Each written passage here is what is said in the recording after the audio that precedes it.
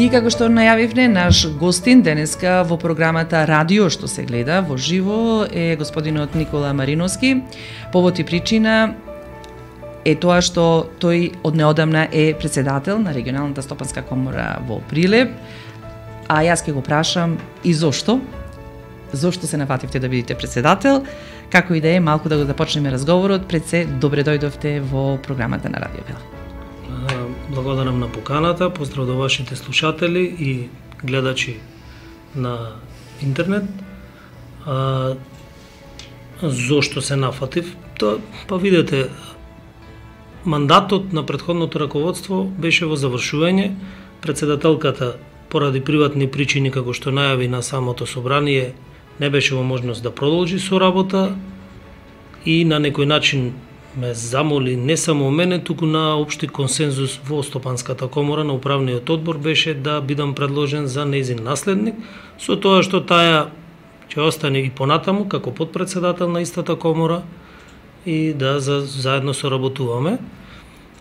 Се, се сметаше дека ради искуството и ради тоа што нашата компанија е од самото основање на регионалната комора дел, и дека нашето искуство во делот на работењето во комората е доволно долго за да можеме да продолжиме сите како да ги речам сите правци или одлуки и понатаму да продолжат за да има континуитет во сите одлучувања или понатамошни активности на комората како и предходно. Никола Мариновски е собственик на компанијата или на конфекцијската компанија Кули, така? Да, да едно мало пре, да, едно мало представување на... за вас. Вие сте и советник во Советот на општина Прилеп да, и така имате повеќе функции јас, во општественото живење на Прилеп. Никола Мариновски е дел од компанијата Кули. Моето семејство, односно татко ми е собственик на фирмата Кули.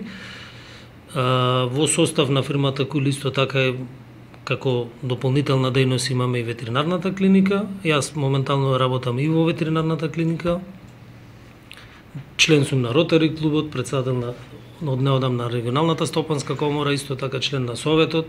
По вокација сум доктор на економски науки, татко на три деца и тоа е најкусо што можем да се представам.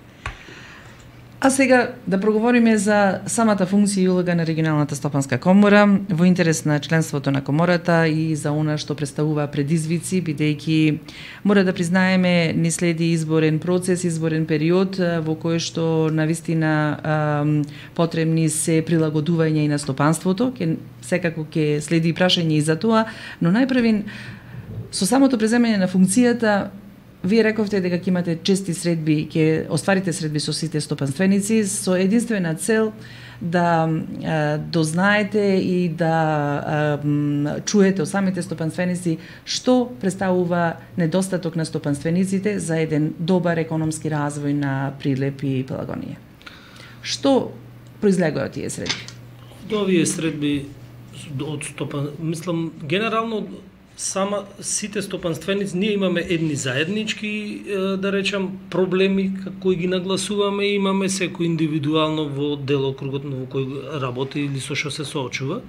И пред некој период јас бидејќи како нов не можем да ги знам сите дејности кои со, со што се соочува побарав да ми испратат дел од нивните проблеми и направивме еден сублимат. Генерално како заеднички проблем сите ги а, најправин ги го мислам ја истакнуваат а, автопатското поврзување помеѓу Прилеп и Велес, значи инфраструктурата. Тие сметат стопанствениците да сметат дека нужно или необходно ние што похитно заради комуникација со странство, заради комуникација со со западноевропските држави и брз проток на луѓе и стока, потребно е автопатското решение, но не само тоа и од безбедносни причини. Еве и вчера бевме сведоци, авто, мислам, патот Прилеп Росомен или Прилеп Кавадарци беше блокиран поради сообраќајна несреќа која, кој беше затворена околу 4 до 5 часа.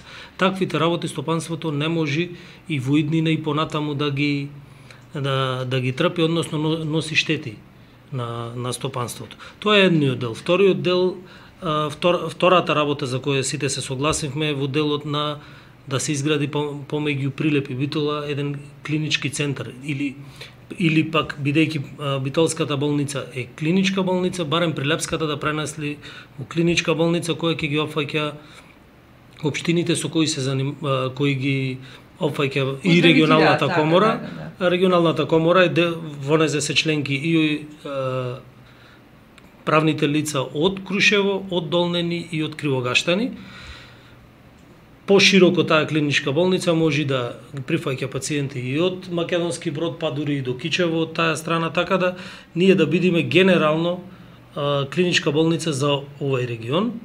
Сметаме дека на граѓаните тоа му е а, многу потребно и тоа ќе го доставиме како барање до политичките партии. Наредно имаме исто така и во делот на адаптирањето на образовните профили на бараме да образованието или средното образование, средното стручно образование се адаптира према постоечкото стопанство во Прилеп, за да можеме младите да ги задржиме тука и полесно да не дуваат работа тука.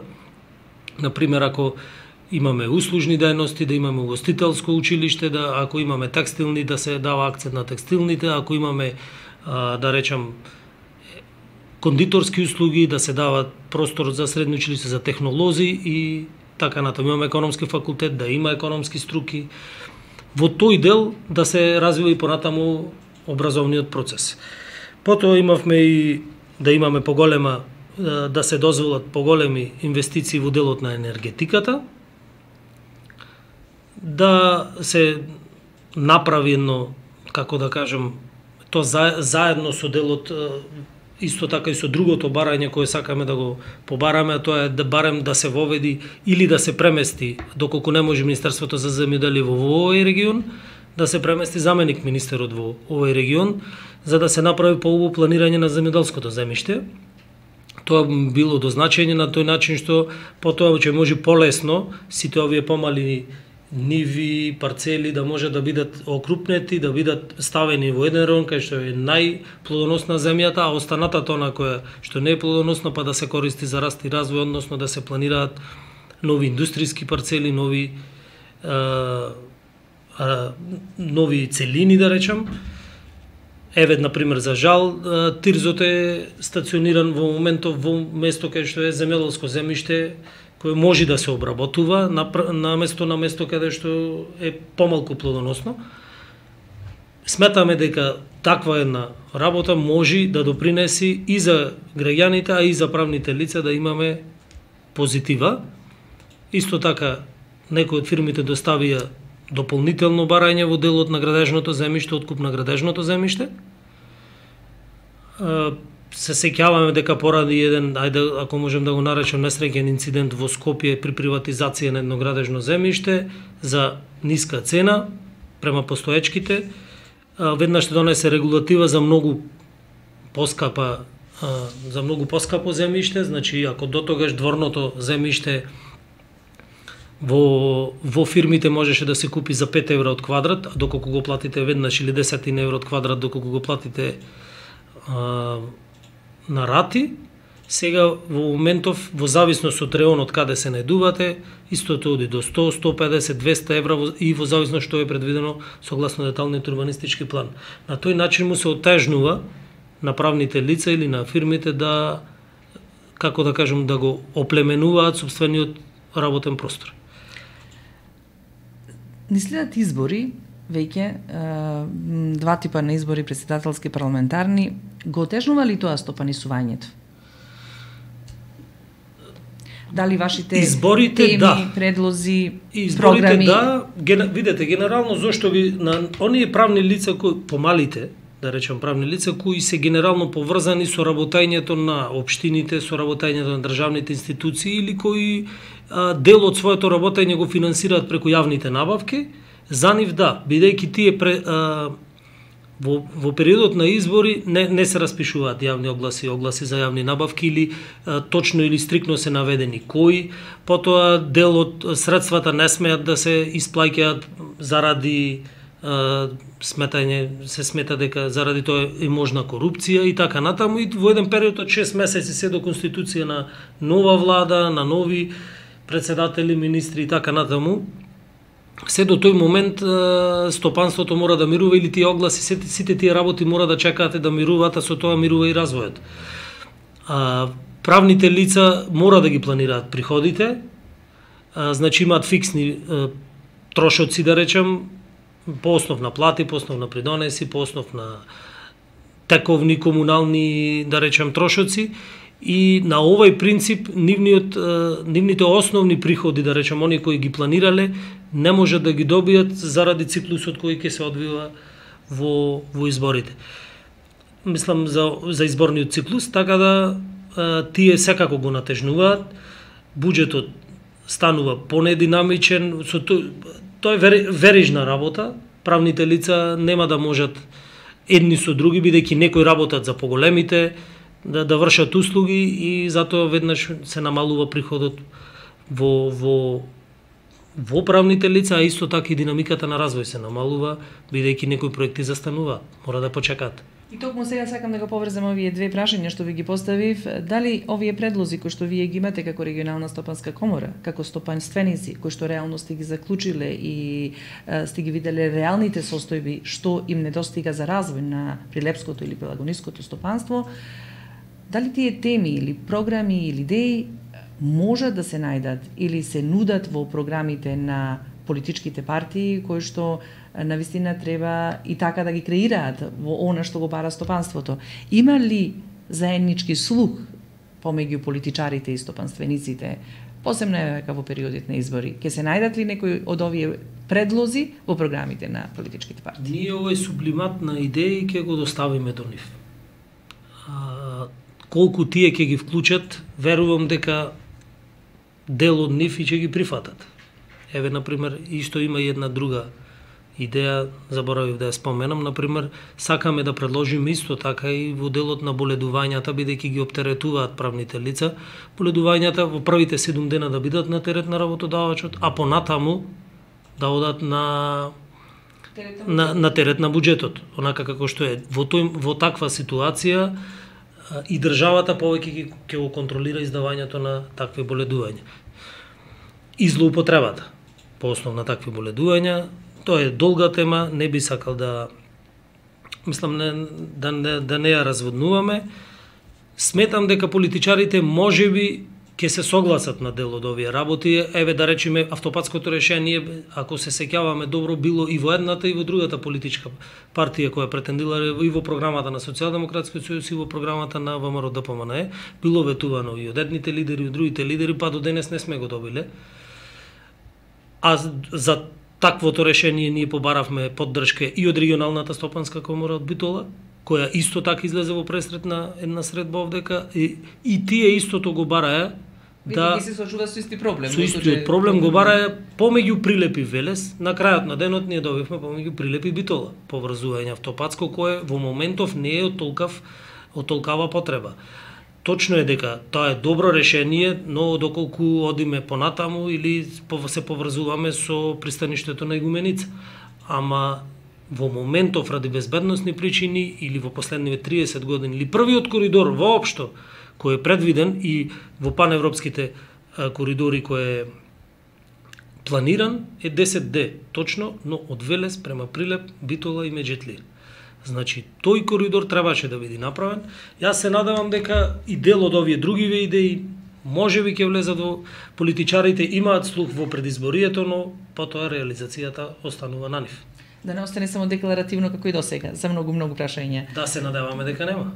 Токму и, и твојот ангажман дали ќе биде насочен кон соработката да овие предлози од стопанствениците бидејќи навистина сега е клучното кога се креираат програмите, дали тоа ќе биде твојот ангажман? Мојот ангажман нема да изостани. Во секој случај јас и како советник ги акцентирам сите овие проблеми дока што ќе допрам да речам до лидер на политичка партија или на било што ќе ги дадам овие предлози, пак останува само да се надеваме дека ќе ги сослушаат и дека ќе ги имплементираат во нивните програми. Искрено се надевам дека барем и дури и една работа да успееме, да. А дека од, од моја страна ќе вложам дополнителна енергија во секој случај. бидејќи тоа е насушно потребно. Рековте дека сте и советник, и сте советник на Советот на Обштина Прилеп, бизнисмен, советник и а, често дискутирате на прашања поврзани со бизнисот. Каква да. е соработката на стопанствениците или регионалната стопанска комора, кога ќе зборувам, зборувам на едно, со едно име, но генерално на стопанствениците, со носителите на одлука, на, на, на, на локално ниво и дали се има слух за развојот на стопанството тука во Прилеп? Тоа е, да речам, ајде еден повеќе слоен проблем, а доколку генерално ја подобруваме соработката, во долг период беше Што за, недостига? За останата, што бараат стопанствениците кога станува збор за Стопанствениците бараат да можат лесно и едноставно да се опланираат собствениот развој. Собствениот развој, за да можете да го планирате, или она што би зависело од самата општина е инфраструктурата. Ништо повеќе. Значи, ние бараме нови развојни, детални урбанистички планови, најпрви нов генерален урбанистички план, од него да произледат новите детални урбанистички планови, за да можеме да ги развиваме нашите компании, нашите бизнеси или да се развива и самиот град согласно потребите кои самите пазари ги нудат. Може би ќе има пренамена од дејности, може би некои дејности ќе сгаснат, но ќе се јават нови. За да можеме ние да држиме таа динамика, нас, нас ни е потребен еден а, развоен генерален урбанистички план, еден динамичен и да може многу брзо да се а, да се адаптира на потребите. Ако донесеме нов генерален урбанистички план, ние можеме градот да го поделиме на многу помали единици и на тој начин да можеме да правиме побрзи планирање за одредени парцели. Секој детален урбанистички план неговата важност е 5 години, ама веќе шестата година ние ќе можеме да бараме измена доколку пазарот го го бара го налага тоа нешто.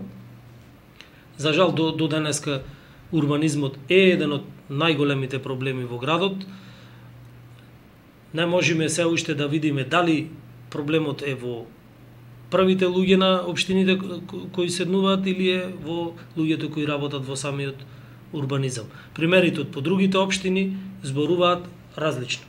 Така да ние повторно еве разговараме, сега сме во барем јас лично во подобра комуникација со моменталната општинска власт и имаме ветувања дека наводно ќе се размрдат тие работи во делот на урбанизмот и дека ќе може побрзо и подинамично да делуваме во тој поглед. Мариновски стопанствениците и минати последните 3, 4 или 5 години, еве да речам, се жалаат за недостиг на работна рака. Да. Кога станува збор за недостигот на работна рака, често споменуваат и квалификувана работна рака веќе во Прилеп или генерално и во другите градови, но веќе во Прилеп има работници од Непал, од Пакистан. Тоа е дали е тоа реалност, нужност, потреба или пак едноставно освен увоз на работниците, јас така би рекла, стопанствениците треба да размислат и да го одврзат своето кесе во наводници, за да може, например, да а, имаме задржување на собствената работна сила тука во Прилеп во Македонија и така натаму. Но еве да зборуваме генерално за Прилеп. Зошто? Бидејќи барем кога разговарав со дел од луѓето или стопанственици кои што веќе ги користат услугите на работници од источните земји, не се многу задоволни од нивните квалификации и можности да ги пружат, сметаат дека ние имаме поквалификувана работна рака. Прашањето ми е, во секој случај, а, дали овај недостаток на работна сила што ја има сега би рекла јас Прилеп или Белагонискиот регион треба да се надополни со нова работна сила од истокот или пак се размислува за некакви други солуции со единствена цел барем да ги задржиме младите луѓе тука во Прилеп. Причините за увоз на работната сила мислам та, таа тема е многу широка можете да ги гледате во зависност од кој агол гледате и вие во вашето излагање поставивте од два-три агли. Еве, ќе да почнеме, например, од, од, луѓето од каде доаѓаат. Може би мислам дека најголемиот страф е зошто доаѓаат од други држави. Инаку, да речам, увозот на работна сила во Македонија може би е понова тема. Но ако почнеме регионално или ако се навратиме регионално, на пример тоа не беше проблем да да работниците да можат да одат да работат и во друга држава и од друга држава да идат кај нас, на пример тако, таков беше системот во Југославија. Ако имат ако забележите сега пак нашите одат во Германија, во Хрватска, во Грција, порано беше а, модерно да речем да се оди во Грција на берање портокали, сега е угостителството, дали во Грција, дали во Хрватска, дали во Црна Гора. А, јас мислам дека стравот од кои држави доаѓаат преовладува во овој момент зошто тие се нови култури за нас, непознати култури за нас и така натаму. Зошто приватниците се одлучуваат? Има две-три причини кои може да ги наведиме. Прва, една од првата причина е недостатокот на квалификувана работна сила и тоа го абсолвиравме во онај дел каде што е во делот на образованието. Значи, нашиот образовен процес или дуалното образование не ги дава посакуваните резултати за да можат да се адаптираат и да се тие вработени да се внесат во во во сам во, во само во постоечките фирми да, во овој процес сега како што е. И ние имаме неквалификувана работна сила. Уназад владите или државата даваше и пушташе програми за преквалификација на работна сила. Сега го имаме и вториот проблем. Воопшто нема работна сила или е воопшто намалена и неквалификуваната, но и е, как, мислам и квалификуваната, ама и неквалификувана. Значи Нема и да интерес за преквалификација кај работниците а... или кај работната сила која што е Па генерално сега не.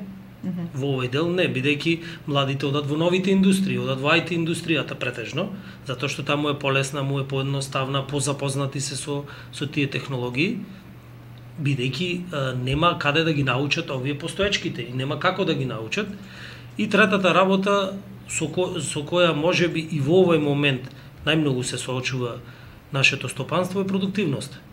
Продуктивноста и статистички, еве зборуваме, не мора да одиме подалеку, во соседна држава, во Бугарија, во овој момент, статистички продуктивноста на вработените во Бугарија е еден и пол пати поголема од оние кои се во Македонија. Исто така при едно истражување на мислам дека беше на Македонски факултет, а, покажува дека пост-ковид 20% е намалена продуктивноста во нашата држава. Небитно во која е, индустрија. Некаде има, да речем, се задржала продуктивноста, некаде е драстично паднала. Причините можеме да ги бараме и на, се, на секаде. Еве, например, да речеме, јас го спомнавте дали е, собствениците се спремни да го одврзат кесето. Собствениците секогаш се спремни да го одврзат кесето за добрите работници. Ако баш имаше едни од овие мотивацијскиве говорници, предвидуваат дека во, во, во иднина секој еден работен ќе работи за процент. Никој повеќе нема да работи за фиксна плата. Во делот на индустријата или во трудоинтензивните гранки, плаќањето по учинок е воведено од поодамна. Кој колку ќе заработи, толку и да земи. Доколку увозот на работна сила, еве да речеме, ако ова овие статистики кои ги кажуваат на работниците на Непал дека се некаде приближно 1,8 до 2 два пати побрзи или поработоспособни од нашите работници, сметаме дека може би ќе се направи измешување на културите и ќе видиме како и на кои принципи тие тоа го работат.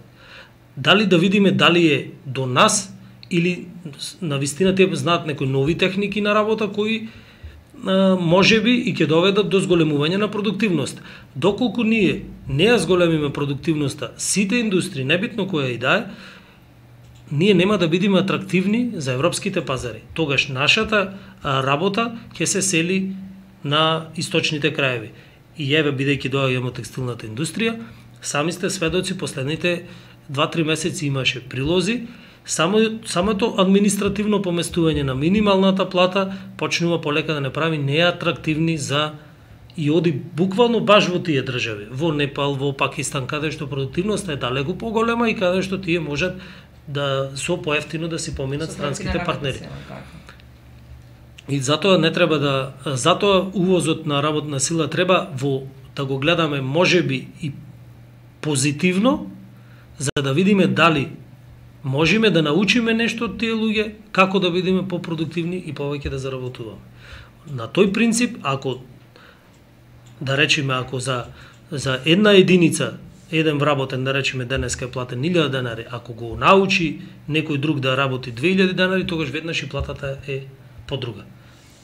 На тој при... а, сакам да кажам дека не е лесно и едноставно е нај, нај, најлесниот начин да се обвинат самите стопанственици дека ги држ, го држат затворено кесето, но не е така. Ние имаме дополнително платата е само еден сегмент во трудоинтензивните гранки, тоа е голем процент, некаде 90% од приходот оди на платата на вработените, но оние кои про, а, продаваат собствени производи и така натаму, таму тие можат полесно и да балансираат со поскапување на нивните цени, но по поскапиот производ тоа значи и помалку продавање. И затоа гледаме најпрвин сега да видиме дали ќе успееме да ја зголемиме продуктивноста на овој начин. Барате начин за конкурентност на пазарите, се разбира. Едноставно кажем. Зачнавме многу теми, искрено. А, овој разговор би го следиле и тука. А, не знам дали имате нешто да, да дополните во врска со регионалната стопанска комора, незината улога и важност во креирањето на развојот на Прилеп. А, велам зачнавме повеќе теми кои што би ги разглобувале на следни наши средби најважно беше да се запознаеме и да можеме да комуницираме заедно, бидејќи и медиумите се дел од бизнисот и дел од креирањето на јавното мислење и на општествената заедница тука во Пелагонија, во градот Прилеп. Како и да е, само уште едно прашање, сметате ли дека ќе имаме поразвоен и подобар Прилеп за поквалитетен начин на живење на сите нас? Јас генерално сум и оптимист. Се надевам дека ќе биде. А доколку ајде секогаш многу пати го го зборувам едно исто доколку самата свест доколку ние самите прилепчени не посакаме или не се трудиме да имаме поубав и поразвоен прилеп, нема да го имаме. Али сум убеден дека сите овие работи кои ни се случуваат не освестуваат. Одењето на младите надвор, носењето на нови луѓе, мешање. Сметам дека го стегаат црвениот аларм во секој поглед. Гледаме во медицината, докторите ни одат.